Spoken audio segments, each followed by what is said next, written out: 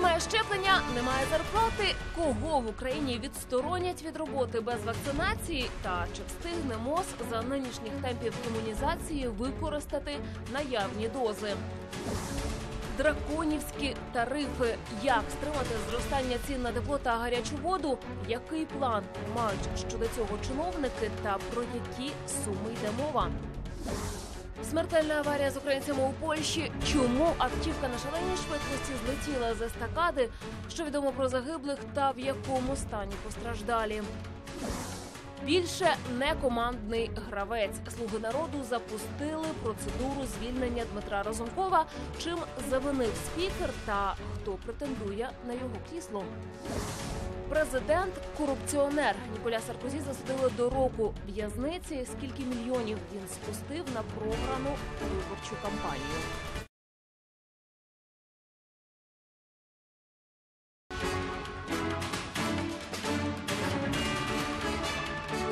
України та світу зізнатися в подробицях у студії Катерина Лисенко. Вітаю. Обов'язок чи примус. В Україні невакцинованих від ковіду працівників усуватимуть від роботи. Щоправда, не всіх, а лише певні категорії. У мозі вже оприлюднили список професій, для яких щеплення є обов'язковим. Там наголошують саме обов'язковим, а не примусовим.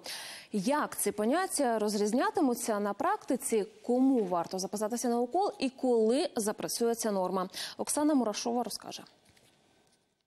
Хто останній на вакцинацію? Поки доволі низький рівень щеплень може підвищитися, бо в МОЗі вводять обов'язкову вакцинацію. У міністерстві опублікували наказ з переліком тих професій, які підлягають імунізації. Це всі освітяни, незалежно від того, який заклад, дитячий дошкільний навчальний школа або профтехучилище, або вищий учбовий заклад.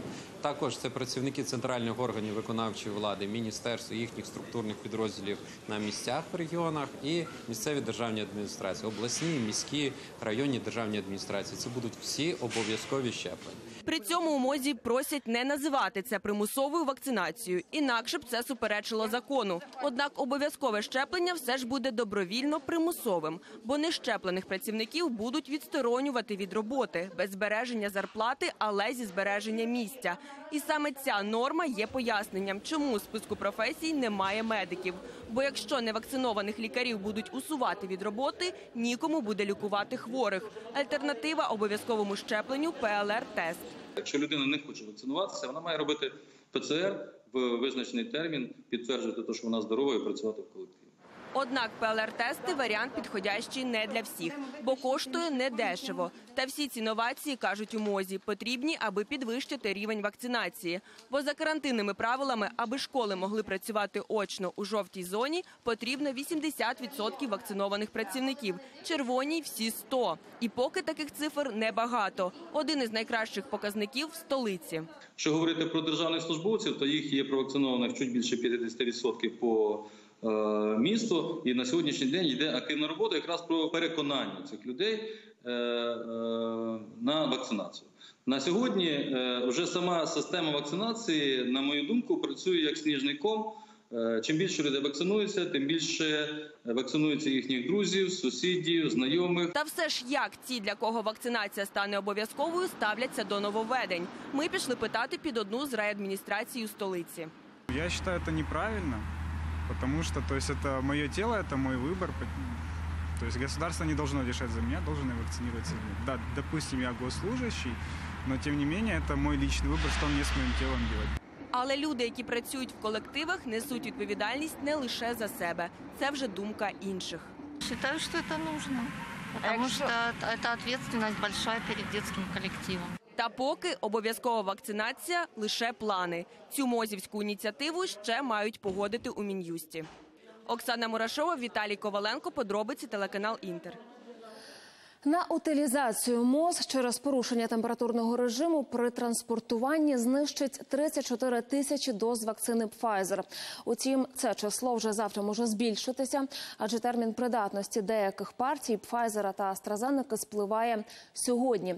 Скільки доз вакцини доведеться утилізувати? і Чому сталася така ситуація? Розбирався Олександр Васильченко. Це село Широке на Запоріжжі. Тут, як зрештою і в інших селах та містах, люди хворіють на коронавірус, і при цьому далеко не всі хочуть вакцинуватися. Не хочу. Ну, потому что, ну, есть смертности. И они ж не проверяют, что, ну, какие у меня болезни. Они сделали укол и все. Понимаете? Не делают ни анализы, ничего. И как оно это привыкло повлиять, мы ж не знаем. Понимаете? Вот в чем причина. Потому и боимся. Одні бояться, інші вірять у теорію всесвітньої змови. Не нравится эта затея. Весь мир сошел с ума. Ну, то есть это придуманная ил- иллюзия. А це місцевий фельдшерсько-акушерський пункт один на кілька сіл. І тут повним ходом іде вакцинація. Щоправда, не від ковіду, а від правця. Ну то ж нове. Ви знаєте, як наше нове приживається. Щоб нове все-таки прижилося, розповідає сімейна лікарка Любов Максимова, з людьми проводять роз'яснювальні роботи. Втім, відсоток щеплених поки доволі низький. Якщо брати взагалі стосовно декларацій, то навіть ну, десь відсотків на наверно, 20 є. Е, тому що в мене більше 20 тисяч декларантів, і з них е, є відсоток дітей, котрі не щеплюються. Тобто ви це теж повинні розуміти.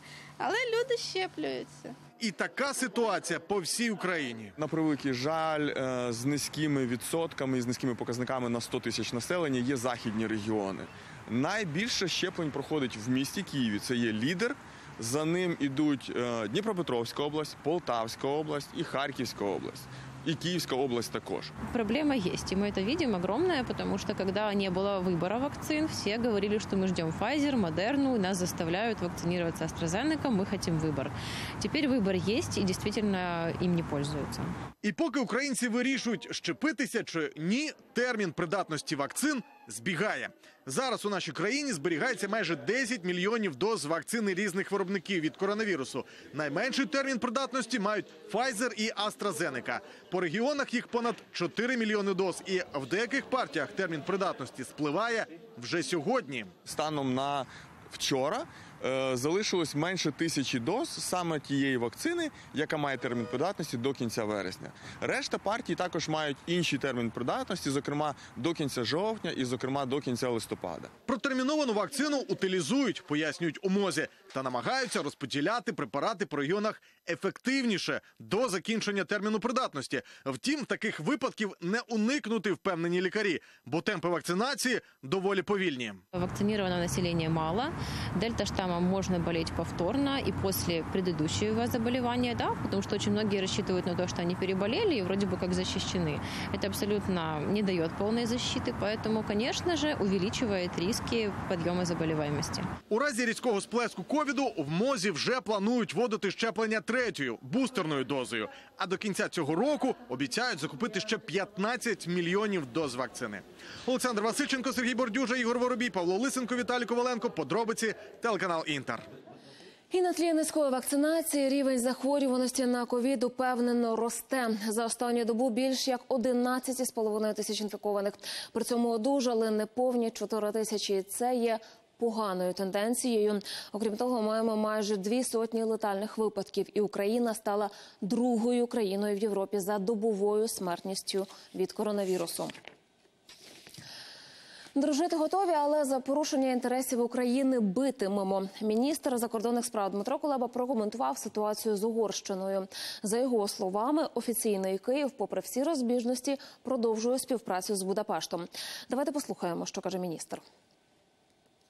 У відносинах е, з Угорщиною дуже важливо відділяти, знаєте, як каже приказка, не плутати грішне з праведним. Газ це грішне, а захист нацменшин, розвиток е, е, чи забезпечення прав української громади в Угорщині, угорської в Україні це праведне. Ще раз наголошу, що ми готові і прагнемо до нормальних, е, повноцінно нормальних дружніх стосунків е, з Угорщиною, які враховуватимуть повністю національні інтереси обох країн. Я нагадаю, що скандал між Києвом та Будапештом виник на початку тижня, коли 27 вересня Угорщина підписала 15-річний контракт із Газпромом на постачання газу в обхід України. Вітчизняне МЗС відреагувало різко і звертатиметься у Єврокомісію, аби там дали оцінку, чи відповідає українська угорсько-російська угода європейському енергетичному законодавству. А в самій Європі триває енергетичне раллі. Швидкість, з якою ростуть ціни на газ, збільшується щодня. Нині знову рекорд на лондонській біржі. Тисяча кубів піднялася до 1160 доларів.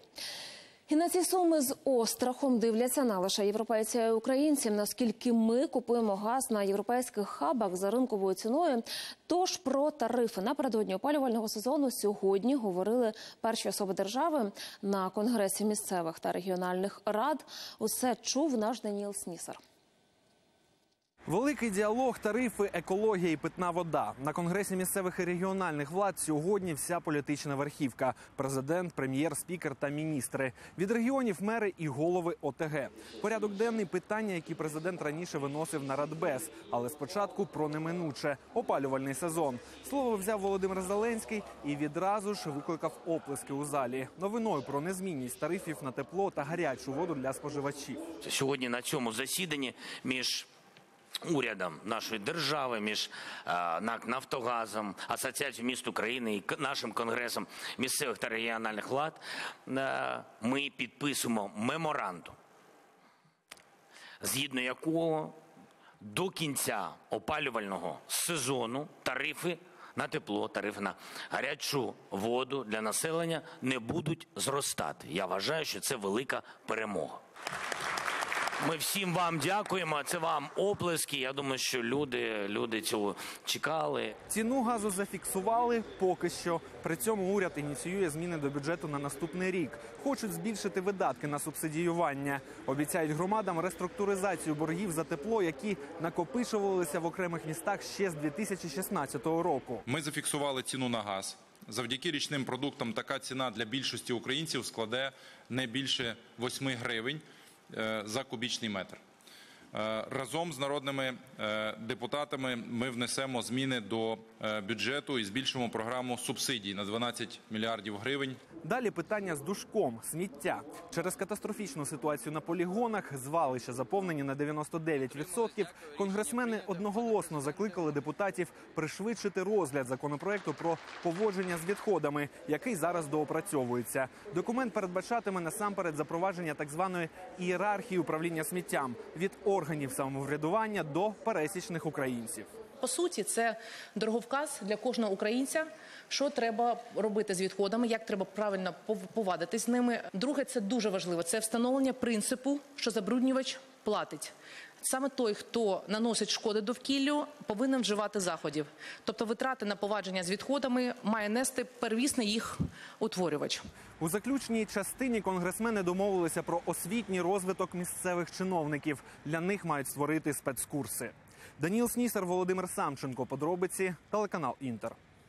Споживачі захищені від цінових стрибків на газ на європейських біржах. Це те, про що говорили на конгресі. Адже до квітня діє річний тариф від уряду, який менший за 8 гривень за куб. А ось тепловики та місцева влада вже б'ють на сполох, бо високі розцінки поклали на їхні плечі.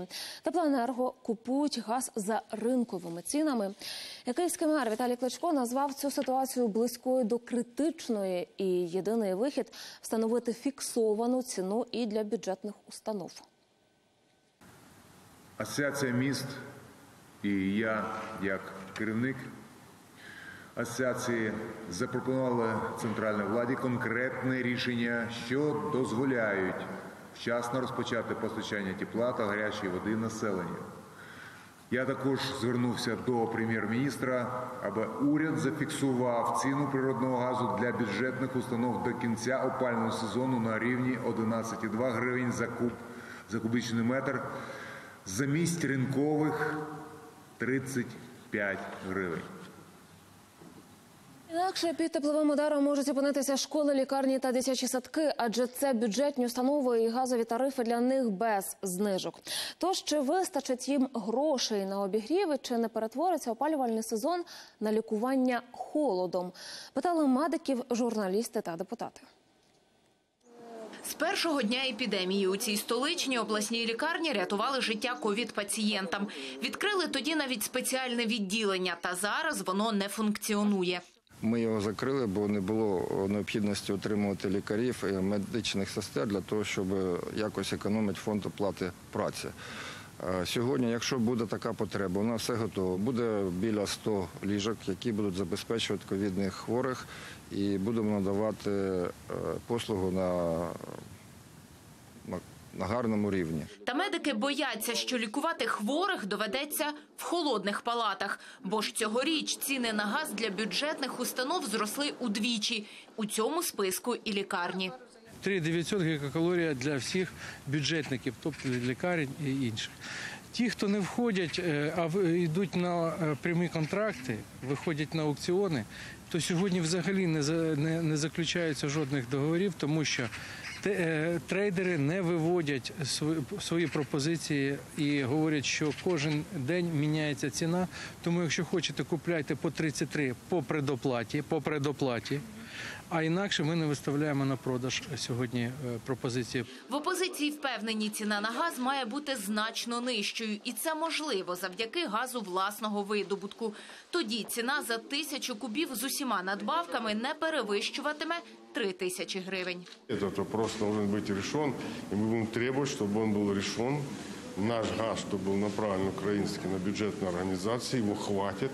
И дали людям газ по тем ценам, по которым они могут платить и не могут поднимать, и не будут поднимать тарифы, что станет невозможным для оплаты по- потребителей. Та в будь-якому разі лікарні потребують дофінансування, вважають політики. Тож потрібно збільшити витрати на медицину в бюджеті. Недофинансирование примерно под 50 миллиардов.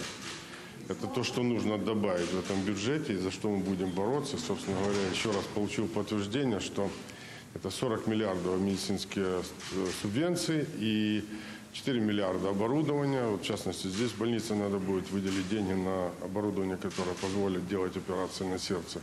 Переліку наболілих питань і гроші на лікування пацієнтів. Медики скаржаться, тих коштів, що держава виділяє на одного хворого, ледь вистачає на аналізи та лікування.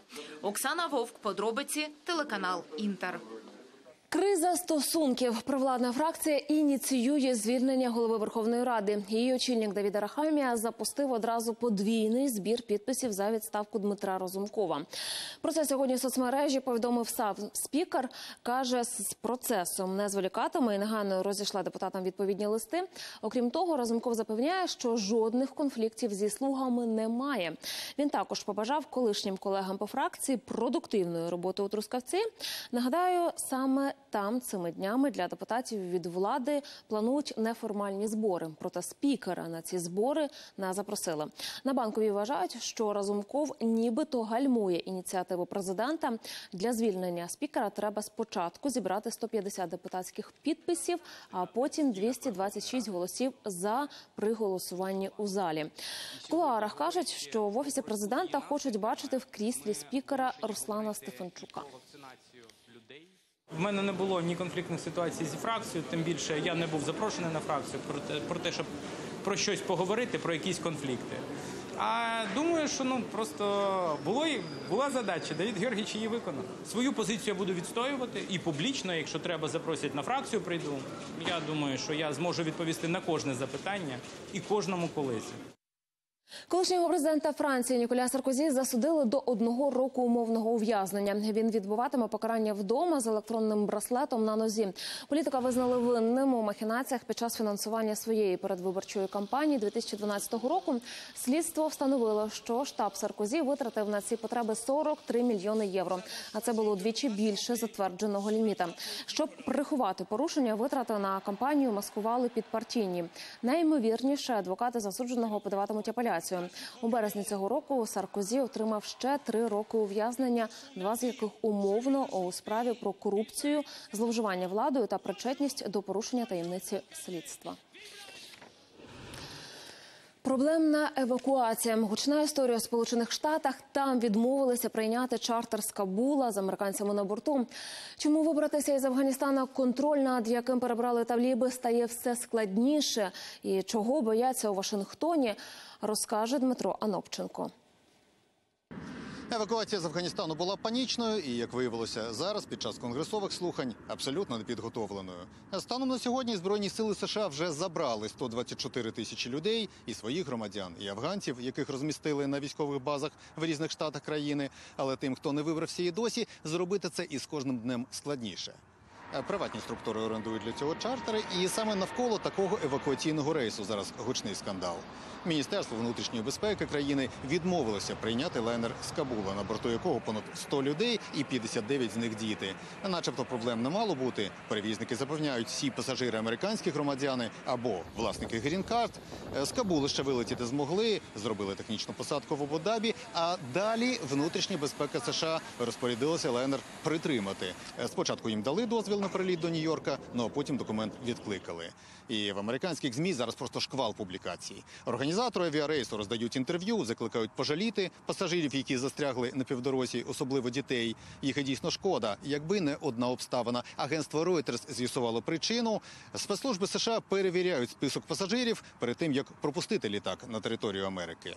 Е, Чиновники повідомили Ройтерсу, безпекові протоколи вимагають, аби перевірили всіх без винятку пасажирів. І за цими словами, побоювання, що під виглядом біженців е, в країну проникнуть терористи або агенти радикальних ісламських рухів, і що діти у переліку пасажирів і цього і іншого рейсів цілком можуть виявитися молодиками, які занизили свій вік і поголилися, аби виглядати неповнолітніми. Саме евакуація, коли всі в паніці, коли через складні ситуації перші рейси практично не перевіряли, могла дати можливість просклизнути до США і легалізуватися тут людям, які зовсім не порятунку просять. Такі підозри вже є у політиків, і у спецслужб, але їм спочатку було не до цього. Тепер кожен новий евакуаційний рейс перевіряються ретельніше і притримують його на півдорозі, навіть попри резонанс у змі. З Вашингтона Дмитро Анопченко, Андрій Раман. Спецоперація на Одещині. Там в одному сіл чоловік відкрив посеред вулиці вогонь з мисливської рушниці. В руках тримав ще й гранату, і тільки дивом нікого не вбив. Про стрільця в поліцію повідомили сусіди. Коли приїхали дільничні, зловмисник обстріляв їхню автівку.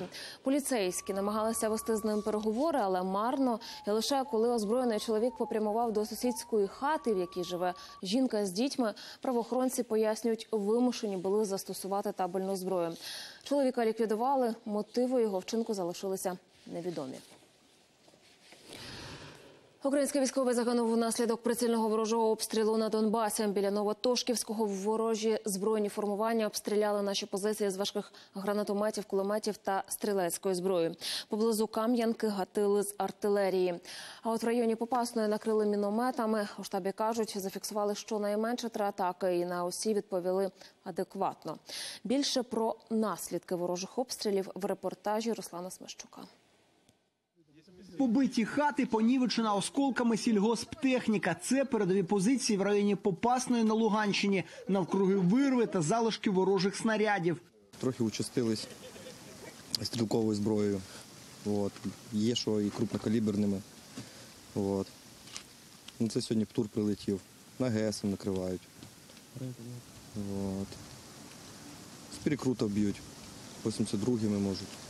Птур це протитанковий комплекс, зброя потужна і недешева. На цій ділянці такі комплекси проти армійців окупанти застосовують вже неодноразово. Намагаються кумулятивними ракетами знищити бліндажі та вогневі точки. Це осколок птура протитанкового управляємого комплексу. Сьогодні близько 9 ранку прилетів в сусідніх район наших сусідніх позицій. Ось таке буває буквально через день, кожного вечора і під ранок загостряється обстановка.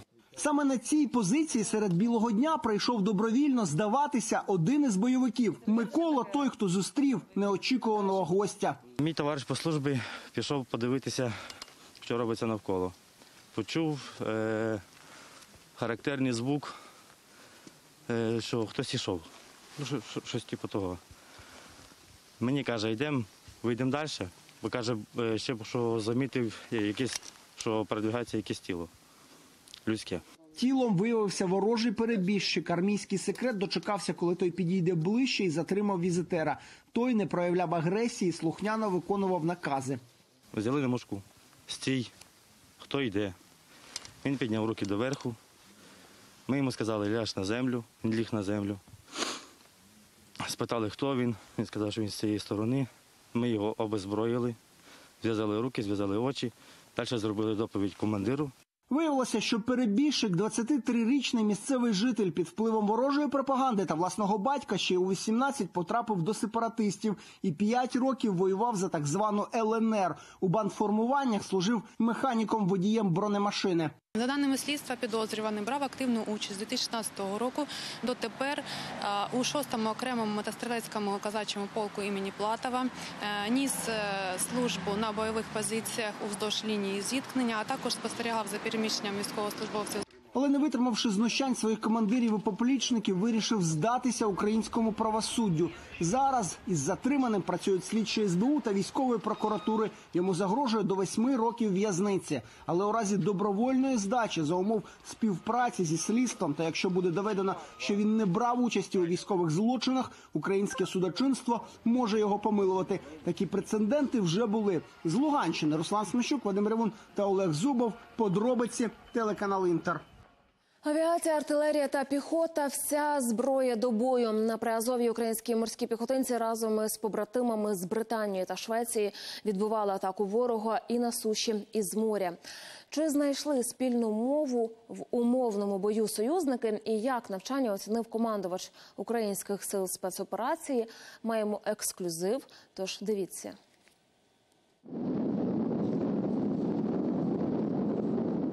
Донецької області. Противник прориває оборону наших військ на суходолі Приазов'я. З моря висаджується ворожий десант.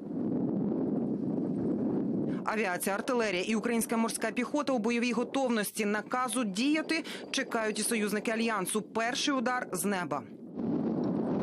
Це легенда останнього дня навчань об'єднані зусилля 2021. Однак умовний сценарій поблизу прифронтового Маріуполя може перетворитися і на реальність. Це сценарій бойовий, скажімо так. На висадку ворога реакція миттєва відрізати резерв від основних сил. Під вогневим прикриттям кораблів та катерів ВМС морпіхи затискають противника у кліщата. Зараз наші сили з неба атакують ворога, так би мовити, з ходу.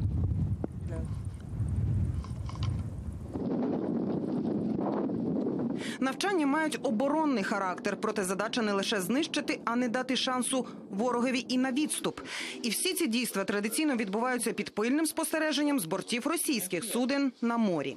Сьогодні ви бачили два корабля ФСБ Російської Федерації. От маневрували вздовж нашого району. Та така присутність суден під триколором впритул до нашої акваторії на міжнародних навчаннях погоду не робить. Вони нам не заважають ні фізично, ні морально. НАТО все ближче і ближче, принаймні на нинішніх навчаннях. Союзники і наші українські військові воювали з ворогом пліч опліч на одних бойових машинах. Британці, шведи на українських бойових козаках їх майже не відрізнити від наших вояків. Разом вони дотискають ворога, і це вперше, коли натівські військові разом на полі бою із українцями, ба більше. Командували цими підрозділами, що на Яворівському полігоні, що на Рівенському, що тут українські командири. Але в них підлеглих були офіцери і солдати вже НАТО, і також наші партнери, які не входять, нам це досить цікаво. Це крок до НАТО. І поки Україна очікує на ПДЧ, з командного майданчика натівські генерали кажуть так українським бійцям і відзначають найціннішу рису нашого війська. У них є усвідомлення того, що відбувається заради України та Великої Британії в контексті російської агресії на передовій. Вони мають сильний дух. Своє захоплення від навичок і досвіду українських морпіхів не стримує їхній колега з Британії. Ваші морські піхотинці є високопрофесійними і вони швидко здобули низку навичок. Чимало ваших військових можуть говорити англійською, хоча б для того, щоб ми могли один одного зрозуміти. Ворог знищений, злагодженість із союзниками відпрацьована. І ще однією реальною перемогою з нами ексклюзивно ділиться командувач сил спеціальних операцій. Хоч Україна ще і не є членом НАТО, та вже другий підрозділ спецпризначенців довів гідний увійти у військову родину альянсу. Ще один із підрозділів пройшов сертифікацію в НАТО, останній заключний етап. І з 22-го року вони е, під головуванням італійського СОФа сил спеціальних операцій е, вступають на чергування в НАТО. Ірина Багле, Сергій Дубінін з Донецької області. Подробиці телеканал Інтер. Більше про те, чим важливі міжнародні військові навчання для України, ексклюзивні інтерв'ю з генералом британської армії та українськими військовими чинами. Дивіться у програмі Подробиці тижня з Олексієм Ліхманом. А ще про трускавецькі дні слуг народу, великий розпродаж в'язниць та про те, скільки заробляють українські тіктокери. Про це не тільки вже цієї неділі, о 20-й годині рівно. Не пропустіть. Смертельна троща з українцями у Польщі поблизу містечка Жгув. Автівка з нашими співгромадянами влетіла в електроопору і розкололася навпіл. Двоє чоловіків та жінка загинули на місці. Ще одну українку ушпиталили. Усім від 23 до 25 років. За інформацією польської поліції, наші громадяни подорожували країною і їхали у напрямку Катовиці. Попередньо водій не впорався з кермуванням. Розслідуванням аварії займається місцева прокуратура. Тополям розтрощила одразу сім автівок в Одесі. Сталося все на паркуванні в одному з житлових дворів. Найбільше дісталося новенькій іномарці. Велетенська гілка пробила лобове скло та розбила увесь салон. У решти шістьох розбите скло та пошкоджені кузови. Власники понівечених машин тепер планують позиватися до міськ Зеленбуду. Слухання щодо скасування військово-цивільної адміністрації у Слов'янську знову перенесли на паузі. Вже кілька слухань поспіль. Цього разу суд не встиг ознайомитися з документами, які подали сторони процесу минулого через хворобу одного із суддів. В опозиції вважають, що розгляд справи затягують свідомо. Нагадаю, військово-цивільну адміністрацію у Слов'янську створили наприкінці травня, і тепер усі рішення там ухвалює очільник військово-цивільної адміністрації. Наша команда «Оппозиционная платформа за жизнь» и 11 ноября, и дальше будет отстаивать интересы жителей, которые выбрали себе местную власть и не хотят сегодня жить в таком узурпированном режиме. Мы требуем, чтобы все люди, которые выбрали себе местную власть, могли жить в нормальном, мирном режиме местного самоуправления. А на банковій сьогодні говорили про впровадження судової реформи. За круглим столом зібралися і судді, і політики. Приводом стала вчорашня заява голови Венеційської комісії. Той закликав Україну розблокувати створення етичної ради і дати їй можливість набрати вищу кваліфікаційну комісію суддів. Своїх кандидатів міжнародні партнери вже запропонували. Справа лише за нами. Андрій Єрмак від імені президента України наголосив на неприпустимості її блокування або сповільнення і необхідності судовій владі якнайшвидше надати своїх представників до етичної ради. Вищої ради правосуддя нагадаю, те саме вчора сказав президент Венеційської комісії Джанні Букікьо. Він підтримав судову реформу, ініційовану Володимиром Зеленським. і Звернувся до органів судового урядування України із аналогічним побажанням.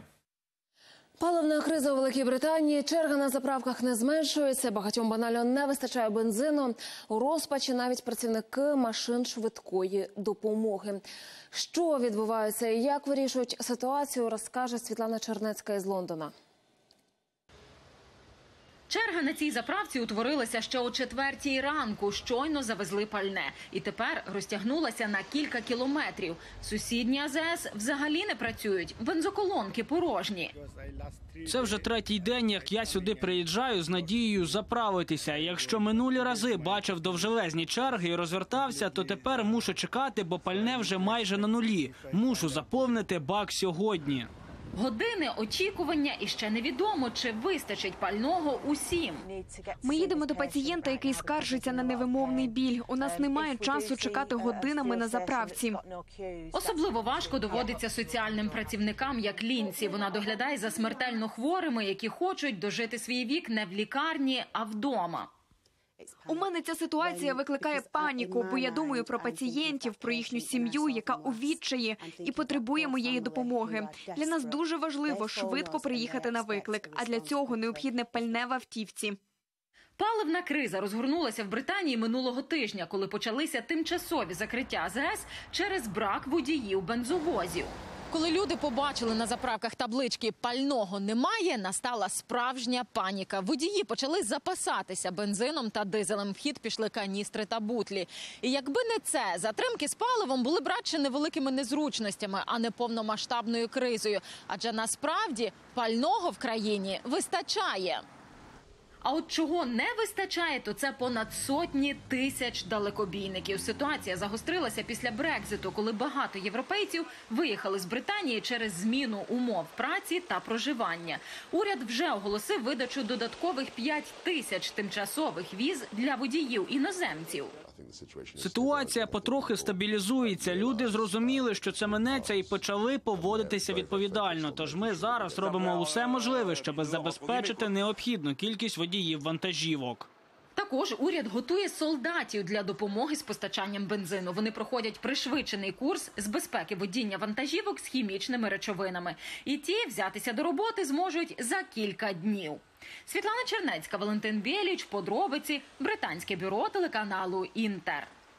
Ну а далі про те, що неможливо купити за гроші, про батьківську любов та родину в Україні сьогодні визначають день усиновлення, свято опікунів, прийомних батьків, батьків-вихователів та усіх, хто прийняв у свою родину дітей, які втратили біологічних маму і тата. Такою дитиною була і героїня нашого наступного сюжету. Побороти свої страхи їй допомогла лише любов усиновлювачів. Ірина Розова продовжить. Мене звати Наталія Кривицька, і я усиновлена. Сьогодні ці слова Наталії даються легко, а в дитинстві мало не звели з розуму. Коли їй було вісім, вона випадково дізналася, що батькам не рідна. І як це буває від сторонніх людей. Правда, викрилася на дитячому майданчику, коли почубилася із сусідським хлопцем. Якщо ти не перестанеш цього робити, то я поскаржу своєму батькові. На що мені цей хлопець сказав? Такий там в тебе батько. Немає в тебе ніякого батька, і матері теж немає. То ти взагалі усиновлена, тебе там взяли. Вона була наймолодшою в сім'ї, десята, і спитати в батьків, чи правда почути, наважилася не одразу. Почала шукати докази і знайшла свідоцтво про усиновлення. Я його спалила, я його порвала на маленькі шматочки і спалила за хатою. А далі, згадує Наталія, почалося найстрашніше. Думки розривали голову, а вона не могла і слова сказати. Лише в якийсь момент підійшла до батьків і спитала, чи любите ви мене? Тоді все й розкрилося. В родині Катерини та Віктора Наталя опинилася одразу після народження. Її біологічна мати відмовилася від неї одразу. Народила і віддала. Щоправда, деякий час ще навідувалася до усиновлювачів, поки їхня старша дитина не підгледіла за нею. Моя біологічна мати підійшла до мене і сказала: чому ти кричиш «с***? заткнись? Може, ви це виріжете, але була така історія. Шукати своїх біологічних батьків Наталія, коли виросла, не стала, бо зрозуміла, її справжня родина завжди була поряд. Наш батько це просто ну це, це, це реально галактика любові, завдяки якій ми сформувалися людьми, дійсно достойними людьми своїх батьків. Історія Наталії одна на мільйон. Те, що її з пологового одразу забрали в родину, унікальний випадок. Бо у 99% на заваді цьому стають бюрократичні перепони. Дитина може е, місяцями знаходитись в лікарні, потім може роками знаходитись в будинку дитини, допоки не отримає статус, і потім вже якась сім'я не погодиться її прийняти. Все це говорить про те, що тисячі дітей перебувають в ситуації, коли їх права на сім'ю порушуються. Вони не можуть вчасно отримати цю сім'ю. Та отримати статус це тільки початок шляху. Попереду ще процедура усиновлення. Вона взагалі часових рамок не має. Тож скільки триватиме? Ваше запитання доволі цікаве, і дати конкретної відповіді по термінологічному е, проміжку я, на жаль, не можу. І додають, все залежить від самих усиновлювачів. Подали заяву на статус кандидата на усиновлення і впрягайтесь у марафон. Довідка одна, інша. Поки зібрали перші, в інших закінчився термін. І так по колу. А вирвалися бігом на курси усиновлювачів, і тільки потім соцслужби роблять висновок, чи можна вам взагалі довірити дитину. Та якщо і так, то це не кінець. Остання інстанція суд. Суб'єктивний фактор, перш за все, кандидатів.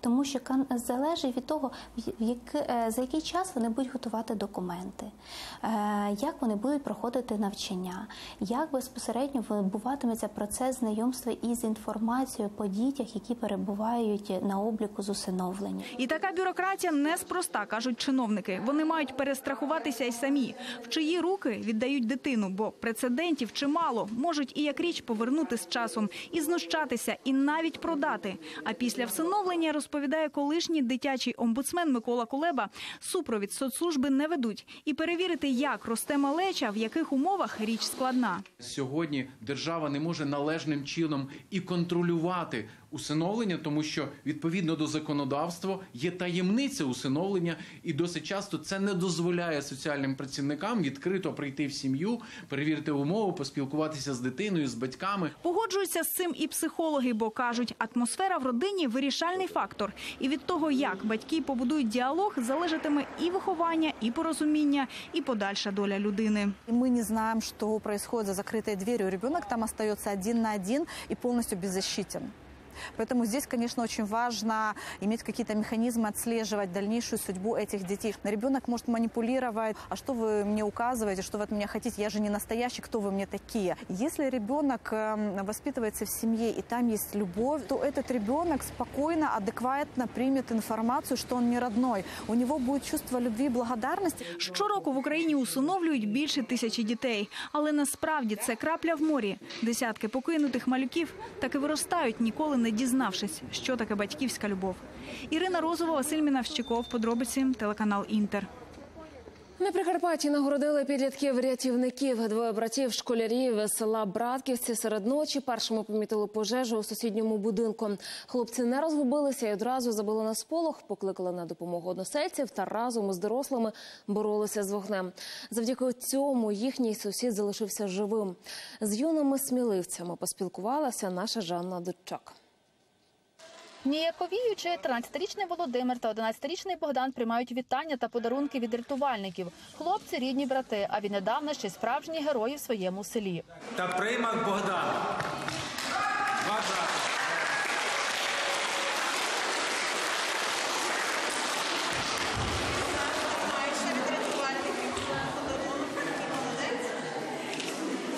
Пожежу в сусідів хлопці помітили випадково. Розповідають, серед ночі прокинулися попити води і у вікно побачили спалахи вогню в будинку навпроти. Тож кинулися будити дорослих та односельців.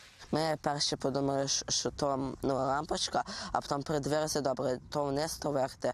І ми пішли закрили бабу. Наш вчора вчитель каже, що треба по- першим ділом повідомляти дорослим про пожежу.